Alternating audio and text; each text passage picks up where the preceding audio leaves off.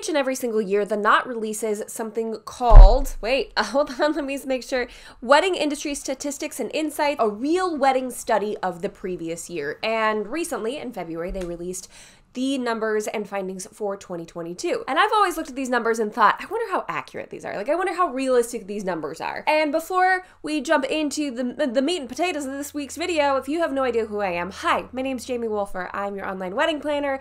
I've been doing creating online wedding planning content for five years now which is wild to say out loud.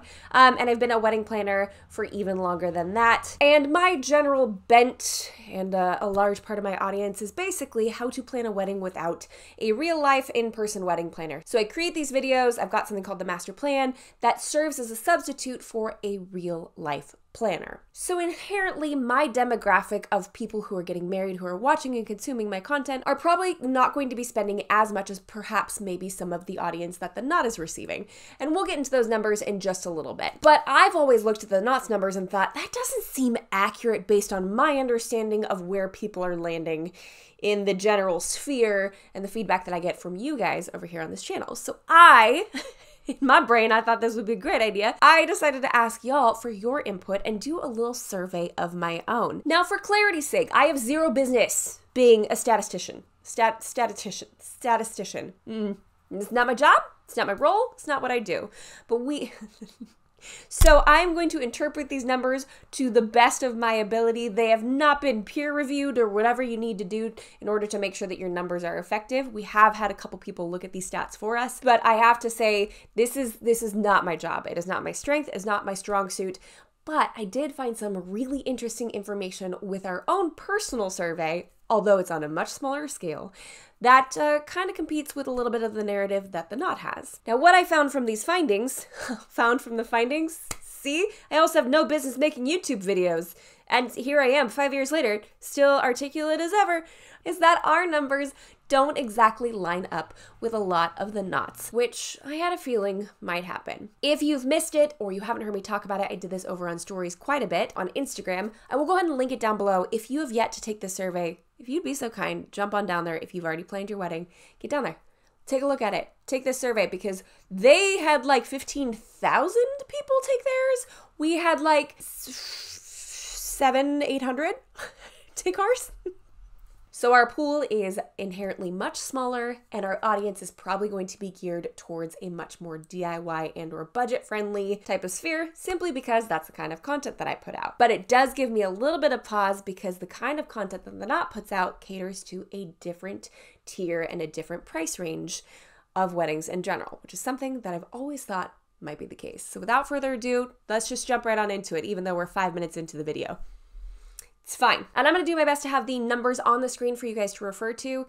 Now, our questions and what the knots asked on their survey, I have no idea how similar they are. I have not taken both. I can only see what they have posted as the results of their survey and not the inner workings of what that looks like. So it's not going to be like for like on quite a few things. Let's go ahead and discuss. I literally have a piece of paper with all of my notes right here. Let's discuss what we found in our survey. So hopefully you feel a little bit less alone. And if you're watching this and you're like, what on earth is happening? I really want to stick it to the man. I don't think their numbers are accurate. And by the man, I mean the knot. And that's the whole purpose of this video. I want you to feel less alone. I don't want you to feel like you look at these gigantor numbers and you're like, this doesn't relate. I can't relate. This is not my wedding. Hopefully, this will help you feel a little bit more grounded. Okay.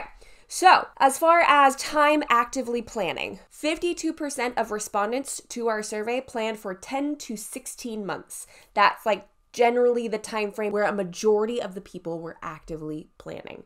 We saw about 4% had done it for over two years. So, really, we're not seeing a lot of long engagements here on our channel with this audience. And about a quarter of them planned it in nine months or less, which is kind of a crazy number. I mean, this is still 24%. That's a lot. This is going to be a super number heavy video. So, I'm really sorry if you're not into this, but if you are, congratulations. Um, guest count, we had about 17% of people respond say that had 50 people or less. But the biggest bulk that I saw, which I thought was absolutely fascinating 43% of respondents had 50 to 100 guests. Whereas the Knot says that their average is about 115 people per wedding, we're seeing a huge, huge amount of people having them at a slightly lower number than I thought. And then about 26% of respondents had guest count from 100 to 150. And literally, we're looking at what? 13% had 150 or more. So I wonder how the Knot's doing their averages on this specifically because our numbers are looking slightly different. We asked couples taking the survey to let us know what their top priority was, and the options were guest experience, so food, entertainment, drinks, ease, making it simple and low stress, photo and or capturing it, and then look, decor, theme, style. I was surprised because I thought what would be number one was number two. I was close, but I wasn't quite accurate. 40% of respondents said the guest experience was the most important part of their event. And following close behind was the ease of it, making it simple, making it low stress. And then about 19 for photo and or capturing and a whopping 10% cared about the look. I wonder if that has something to say with like people who take surveys. Maybe they're just into numbers or into the facts and they're not as into the look of things. I personally love the look of weddings but maybe it's just not like top priority, right? That's what I'm gonna tell myself. Now, the biggest stressor, this one I thought was really, really eye opening and hopefully will help you feel a little less alone. We had four options for people to select from family and friends, emotional stress, actually planning, like the act of planning was the most stressful, um, sticking to the budget, and vendor selection. Actually, I don't know if we had more options than this. I just know that these were the top respondents. The biggest single stressor category would be the stress of family and friends at 37%. But what I found really unique is about 58% of you were stressed by the actual planning and sticking to your budget at 30 and 28 percentages respectively, which is probably why you're here. Naturally, this kind of content is going to be pulling people in. They're looking for help, trying to make wedding planning less stressful, trying to stick to a budget. The kind of content I put out there inherently is going to draw in that kind of audience as well. But I just want you guys to hear that 37% amount of being stressed out by family and friends and expectations and emotions and let that resonate with you. If you are feeling super alone, know that a massive majority of people are right there with you, friend. And only 6% were stressed out about vendor selection, which is great. I'm glad. I'd love to hear that for you guys. Next page. 80% of our respondents used a wedding website. The clear landslide winner was The Knot by a whopping 40%, followed in second place by Zola with 24% and 18% with Joy, and then the rest are kind of scattered from there. 74% of those who took the survey said yes, they did have a registry as well. 30% with Amazon, 15% with Bed Bath & Beyond, 36% just other, just I don't see my option listed here, so just none of the above. And only 5% with Honey Fund, which you guys, y'all are sleeping on Honey Fund if you are not using something like this. It's personally one of my favorite registries to work with because it has so much variety and so many options of what you can be doing with these funds. It's very easy, very simple user experience when you don't need more stuff. Uh, not sponsored, just absolutely love them. Now, of course, because inherently I would be an absolute fool. How many times have I said inherently in this video? I don't want to know. I would be an absolute buffoon if I didn't ask people about their feedback on some of the products that I offer, such as the master plan, which is my online wedding planning course where I teach you how to plan your wedding. I'm literally your online planner. It's everything that you need from a real life wedding planner, but just simply online. I help you find your vendors, I help you plan things on time, I help you stick to your budget. Everything you need out of a wedding planner, I handle in this course. So we asked the respondents of this, how many of you use the master plan? 68% said no, which sad, sad panda. but 32% said yes. Here's where it got me though. Okay, here's where it got me. 75% of those who said yes, they used the master plan, said it was crucial to the success of their wedding day. Either agreed or strongly agreed with that statement. It was crucial. They could not have pulled off a successful wedding day without it. And if that is not a glowing review, I don't know what is. Three out of four couples are saying this is exactly what we needed and this made our lives less stressful. So if you are considering or you've heard me talk about it before, you've been on the fence about it specifically, y'all have clearly shared that the act of planning and sticking to your budget makes up for a whopping percentage of a lot of your wedding planning stressors. And we have a fantastic solution right here for you. So if you are interested in checking out the master plan, let the reviews speak for themselves, let the percentages speak for themselves. I will link it right here and in the description box below if you guys want to watch the rest of this video uh, before committing to something like that. But we make it affordable, we make it user friendly, and I'm there with you each and every single month as well to answer your questions live in real time, which is Honestly, one of my favorite things to do.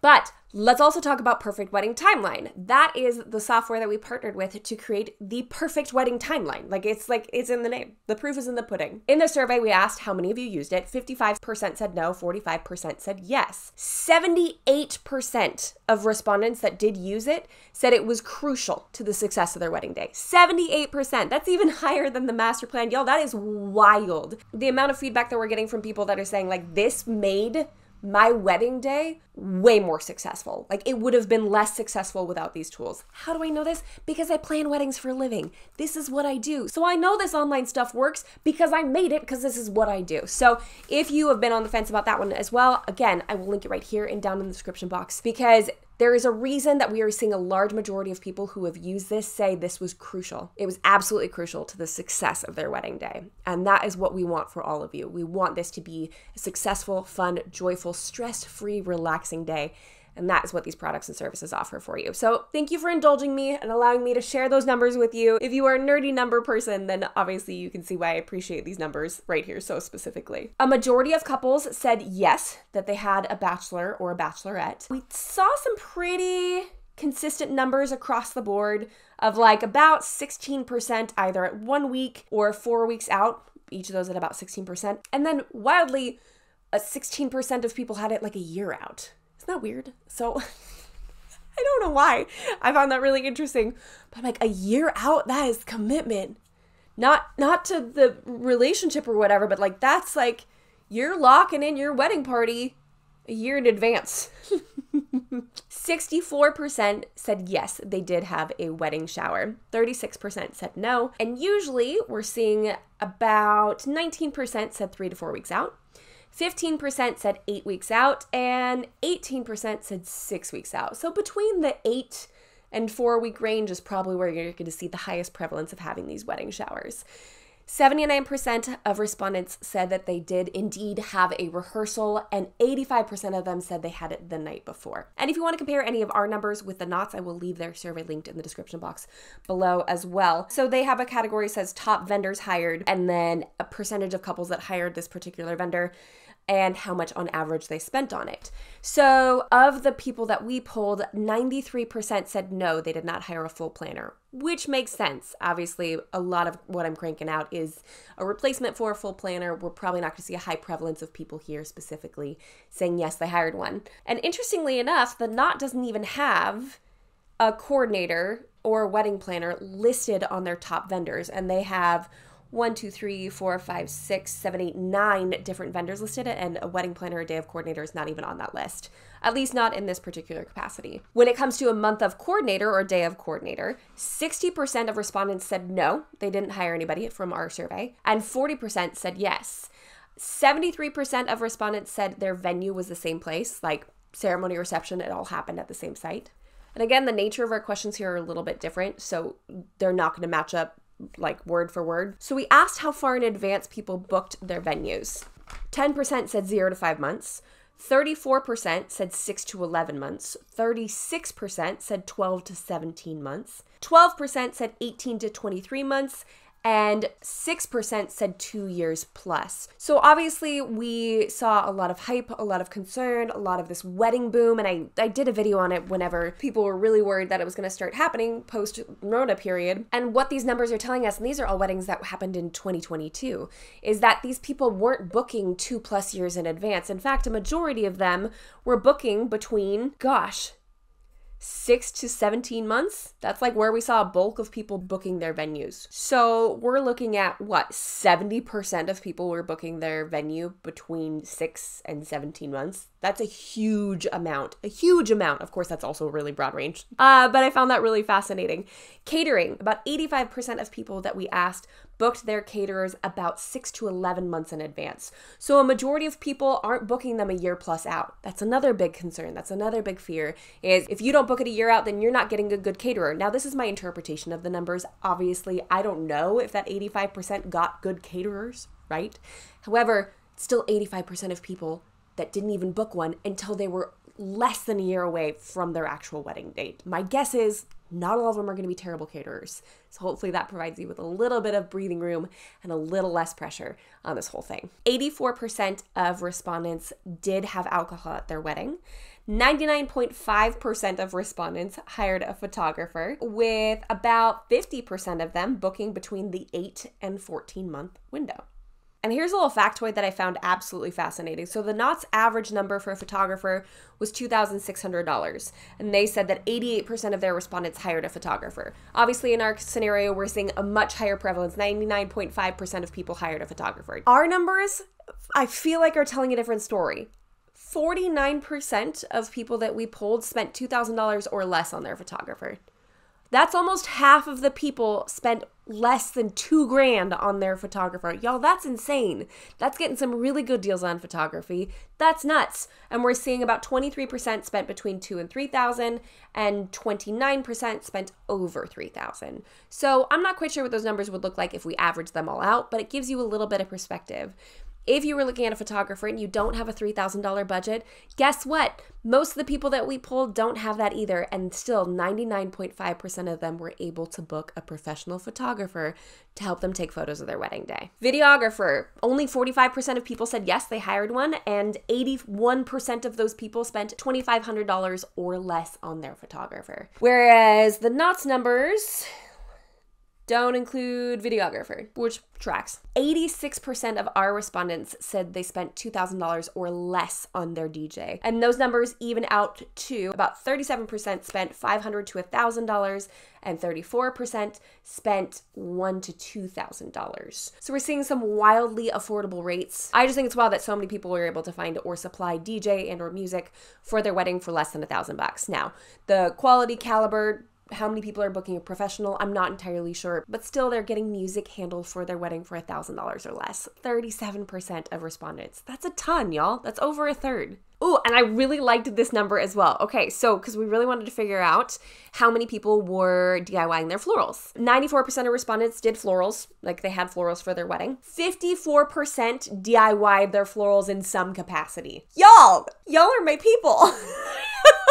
if you are on the fence or don't know if you want to be DIYing your florals, I know that sounds like a lot to take on. I'm going to toss the floral quiz up here if you want to take a look at it and uh, go take that quiz if you want to. It'll help you kind of determine if you should be DIYing and if you want to, what would be the best resource for you. But we really wanted to figure out how many people used fresh versus faux. 60% of respondents used only fresh, 21% used only faux, and the rest was a mix or a combination of the two. I just think that's wild. And 71% of respondents spent $1,500 or less. Or less, you guys. That tells me that we are definitely seeing a huge prevalence of people DIYing or working with really, really early, new to the game florists because that is a very, very inexpensive cost for florals in general. Um, a lot of florists will have something called a shop minimum, which is understandable, meaning that they really don't take on jobs that are below a certain amount because they don't really end up making much money off of them. I just found it absolutely fascinating, though, that so many of you are DIYing your florals, and it makes me so happy. And then the last vendor category that we'll look at will be dress, like wedding dress. The average for the knot is $1,900. For us and our respondents, 17% of people spent zero to $500. 15% spent 500 to $1,000. 18% spent 1,000 to $1,500. And 34% spent 1500 or above, which means that 66% of the people we polled spent less than $1,500. We are seeing a very drastically different number on wedding dresses from our respondents than we are seeing with some of the knots. And the final statistic that I really want to leave you with is we asked how many of you felt like you allocated your budget just right for your event? Like y- you nailed it. You did good, kid. Like you felt good about those numbers. You wrapped it all up. You looked at it and went, yeah, I did okay. 79% of people polled said they agreed or strongly agreed with that statement. There tends to be this idea that once you start wedding planning, you have no control of your finances. You will overspend, you will go over budget. The wedding industry is going to get you. You're not going to be prepared for all of these numbers. And that is a really stressful mantle to carry. But what we're seeing right here is the people that are here on this channel, the people that are watching these videos, the people that we are helping, 79% are saying, I allocated just right. I am satisfied with my budget. I don't feel like we went over. Don't feel like we went under. I agree or strongly agree that we allocated just right for our budget. I said last number, but there is one more I want to leave you with. There's a glaring little bit of information that most people love to cling to in these conversations, and that is what was your overall budget? What did you spend? And the Knots number says the average is about 30,000. Now, of those that we pulled that shared their responses, 28% spent over $30,000. Everyone else was underneath that. I'm going to repeat that one more time. Only 28% of people we polled spent over $30,000. Everyone else was underneath that. That means we are looking at 72% of the people that we are working with, that we are helping in these videos, are spending less than $30,000. So if you are balling on a budget, if you are watching these videos, if you are out there in wedding planning land and you're looking at all these giant numbers and you're like, that doesn't track. Like, I don't fit in with these numbers.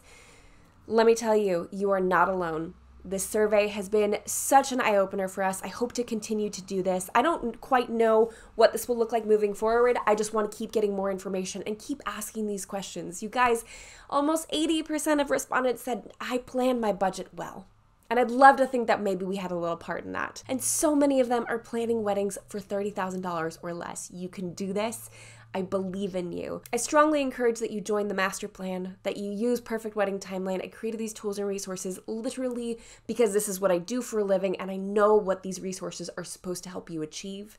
And when we were looking at three out of four people agreeing or strongly agreeing that it was absolutely crucial to the success of their wedding day, y'all should probably jump on board with those. Thank you so much for those who have responded. So that's what we have for this week's video, guys. Thank you so much for watching. I know it was super number heavy. I highly encourage that when you are looking at stats, always ask questions, always be curious. Um, I, I'm not quite sure what this survey will look like moving forward. I want to keep doing it. If you guys liked it, if it felt reassuring or you found it fascinating, let me know in the comments below. Let me know what your favorite number was or what you were the most surprised by. There is honestly things on this list that I was like, I had no clue, no clue that y'all would respond like that. And then there's other things where I'm like, yeah, that makes sense. Uh huh. Uh huh. Y'all are DIY floral people. I totally get it. also, I don't know. Did we stick it to the man?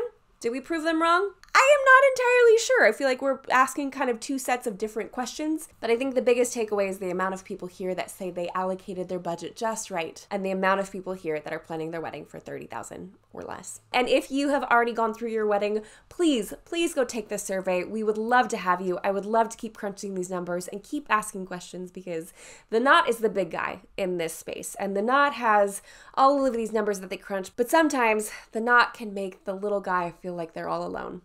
And I hope that you can see from today's numbers that you absolutely are not. If you haven't done so already, jump on down there, hit that like button, and subscribe to this channel for more tips and tricks for the modern day budget bride. And until next week, bye guys!